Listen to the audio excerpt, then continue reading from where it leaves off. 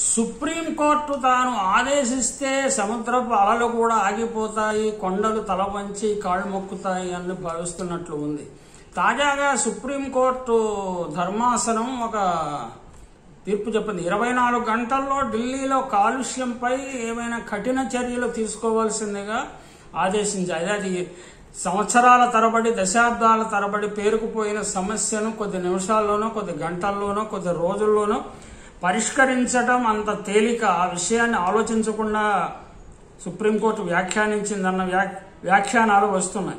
ఇరవై నాలుగు గంటల్లో సీరియస్ కార్యాచరణ ప్రకటించాలి అని ప్ర- సర్వోన్నత న్యాయస్థానం సర్వోన్నత జస్టిస్ న్యాయమూర్తి ఎన్వి రమణ గారు ఆదేశించారు. అయితే ప్రభుత్వం చర్యలు తీసుకుంటూనే ఉంది న్యాయవాదులు వాదిస్తున్నారు. అయినా క్షేత్రస్థాయిలో ఎటువంటి మార్పు రావటం లేదు. మూడు సంవత్సరాలు మూడో తరగతి నాలుగో తరగతి పిల్లలు క్లాసుకి హాజరవుతున్నారు. మంచులో పొగ మంచులో వారు వెళుతున్నారు. ఇది వారి ఆరోగ్యానికి భంగం కాదా?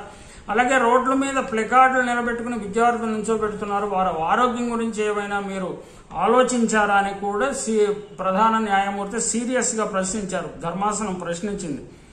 చంద్రచూడ్ కూడా ఉన్నారు. ఈ గౌరవ justice Chandrachud.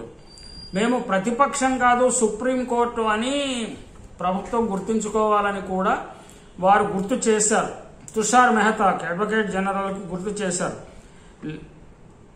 Lack of creativity అధికార యంత్రాంగంలో సృజనాత్మక నశించిపోయిందని బ్యూరోక్రసీకి క్రియేటివిటీ లేక ఈ సమస్యలకు పరిష్కారం కనుగోలేకపోతున్నదని కూడా వ్యాఖ్యానించింది. నిజానికి ఎంత క్రియేటివిటీ ఉన్నది ఒక రోజులో పరిష్కారం అయ్యే సమస్య కాదు కొన్ని గంటల్లో కూడా పరిష్కారం అయ్యే కాదు. నిజానికి ఈ సమస్య ఆటోమొబైల్ పొల్యూషన్ వల్ల రవాణా వల్ల వచ్చింది. ఆటోమొబైల్ పొల్యూషన్ అనే గుర్తించడానికి ప్రైవేటు వాహనాలు వాడటం వల్ల ఈ పొల్యూషన్ వస్తున్నదని గుర్తించడానికి ప్రభుత్వము నిరాకరిస్తుంది మేధావి వర్గం నిరాకరిస్తుంది ఢిల్లీ ప్రజలు నిరాకరిస్తున్నారు. నిజానికి ఇదేదో పంజాబ్ హర్యానా ఉత్తరప్రదేశ్ రైతులు తగలబెడుతున్న పంట వ్యర్థాల వల్ల వస్తున్న పొగగా చాలా కాలం భ్రమింపజేశారు. కానీ అది నిజం కాదు.